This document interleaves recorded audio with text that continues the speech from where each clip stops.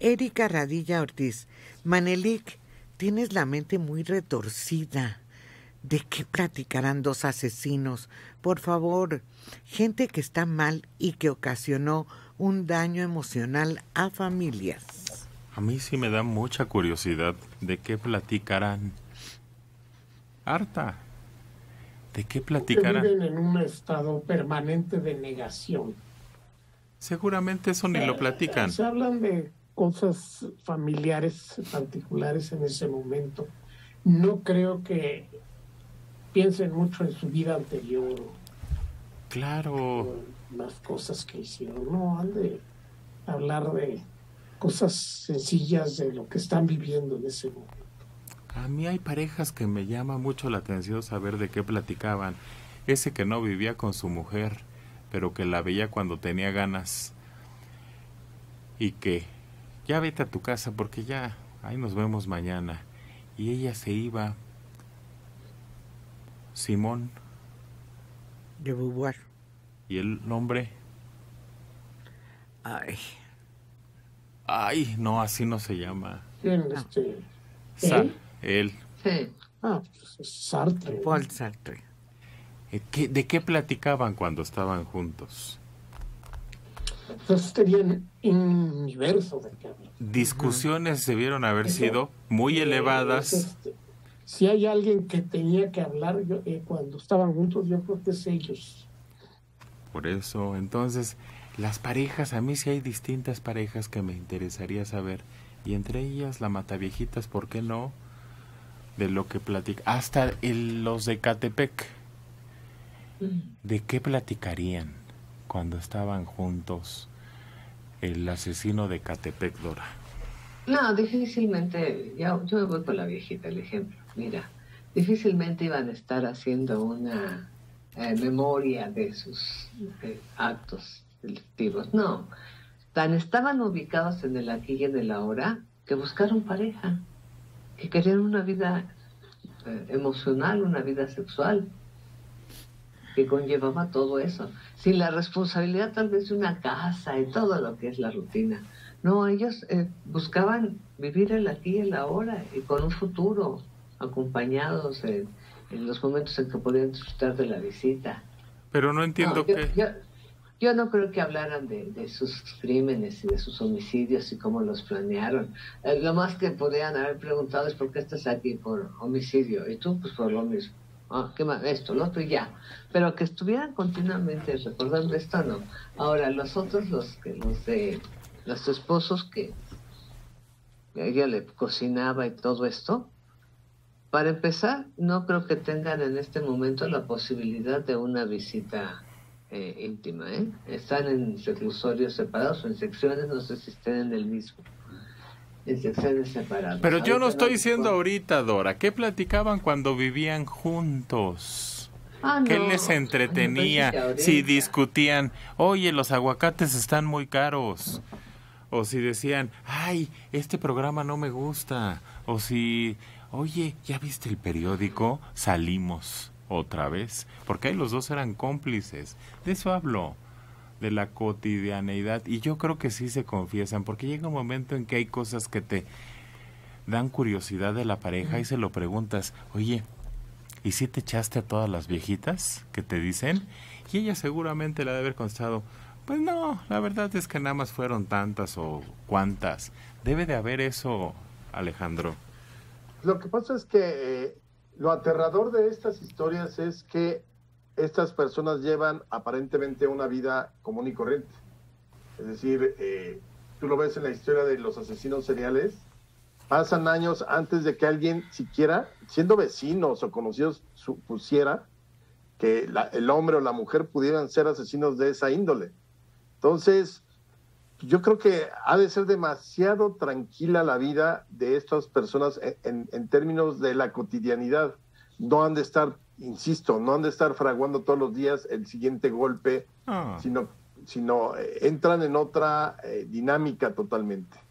Porque convierten el crimen en parte de, no es un crimen de el narcotráfico de, oye, pues tenemos que acabar con la banda rival por tomar la plaza, no, Aquí son personas que viven en un entorno donde, ah, sí, pues lo veíamos pasar, era un viejito que parecía inofensivo, salía con su cachucha, iba y regresaba con su carrito, y a nadie se le ocurría que podía ser un asesino serial. Sí, ¿tú te acuerdas? Alejandro tenía un programa que yo no podía ver porque era muy noche, algo de sangre y muerte. México en rojo, algo así, que eran historias de crímenes, de criminales de en la historia de México. Sí, muy interesante, pero lo pasaban en la medianoche. Muy propio para que no duermas. ¿Cómo se llamaba? Buen horario. México. México. Rojo, rojo mexicano. Rojo mexicano. ¿Ya no se puede conseguir? Seguramente debe estar en YouTube. Lo, lo, lo produjo el 11, el canal 11. Que Puros crímenes. Fíjate que hay- existe lo que se llama, lo llamó Ana Arendt, esta eh, filósofa y reportera, se llamó la, la banalidad, Hannah Arendt, Mario, la Mario, banalidad del Mario, mal. Mario, no te hagas para adelante porque te oyes mal.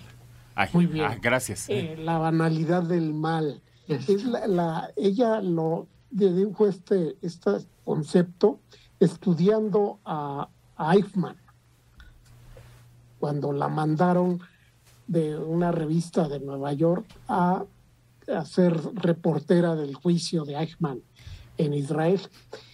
Y entonces descubrió que era el tipo de lo más vulgar y cotidiano y ordinario y que solo le preocupaban pues las estadísticas que llevaba de la gente que deportaba y que enviaba a los campos de concentración.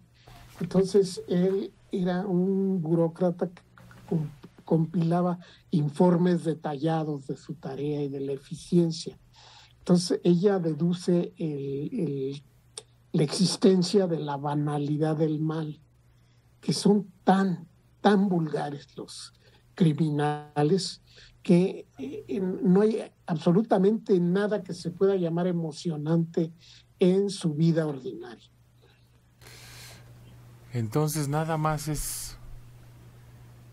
por ocasión, por desviación, pero no hay... mm. Luego ya me voy a meter en problemas porque como dijo el otro, el feminicidio es qué?